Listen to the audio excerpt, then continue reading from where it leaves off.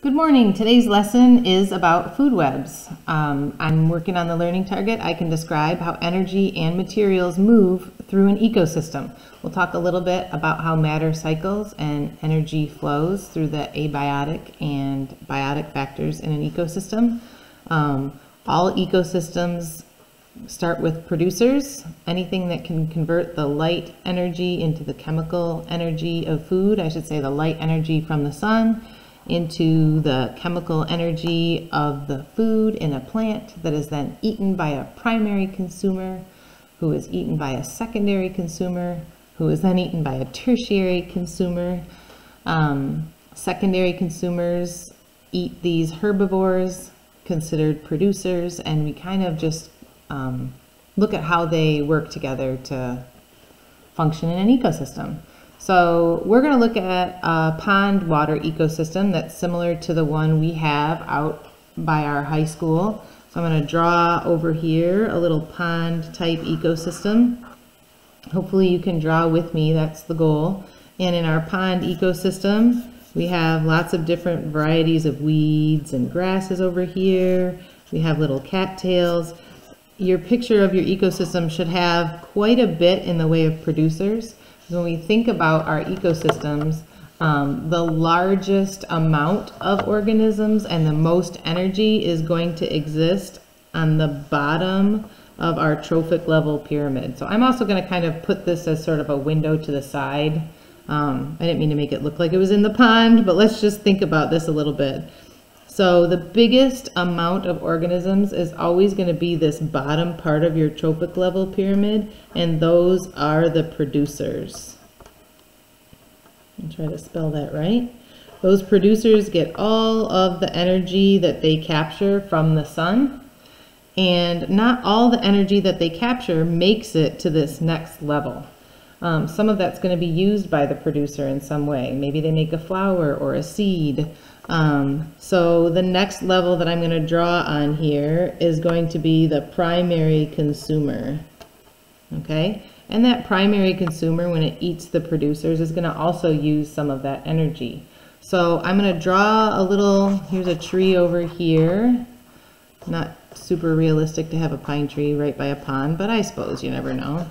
And we're going to put some water over the top of our little pond. And so far, all we see in our picture is the producers. So I'll add a couple primary consumers here. Maybe that's a little minnow. Um, maybe I'll draw some bigger fish right here that's going to eat the minnow. Um, we could do one small food chain, which is slightly different from a food web. We could say that the minnow is the primary consumer of this little producer algae type thing here. So let's say this is algae. If you think about how much algae you would see in a pond, you'd see significantly more. And then if that fish comes and eats this guy right here, we now have a secondary consumer. Okay, so this fish eats that guy. Now we have a secondary consumer. He would also be um, considered a carnivore if he's eating a fish. So these primary consumers are our herbivores. And then we have um, carnivores, which sometimes end up being omnivores. Omnivores. Food webs tend to get messy pretty quickly, so when you draw them in a pyramid, it looks really neat where we go from producer to primary consumer to secondary to tertiary consumer to quaternary consumer. um, and that looks like it's sort of a one-way street. And that is how the energy works, right? This is the trophic levels right here. And in general, this is kind of a summary of what that looks like. And I'll kind of make this look maybe like a cutaway from our other drawing so that you know that that's not actually in the dirt of the pond. Um, but I'd like to draw another little player in this um, thing that I have here. And I'm going to put a heron, which we see a lot of in our pond. We often have these really cool looking creatures with the wonky necks and the face knife for eating fish. Um, if this guy eats that fish, we now have the next level up. Um, so we've got our producers, a primary, a secondary, and a tertiary consumer. And right now, I've really just made a food chain, okay? When you draw these pictures of food chains and food webs, it's nice if you can kind of show the arrow going as the energy flows.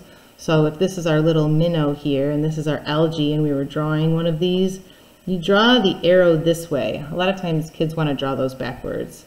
But here we have a potential um, food chain that goes all the way up the trophic levels. And you can imagine that when we go out to those ponds, we see other living things. So we might see like a little bird hanging out on here who's eating a little bug that was on there that was eating the cattail, right?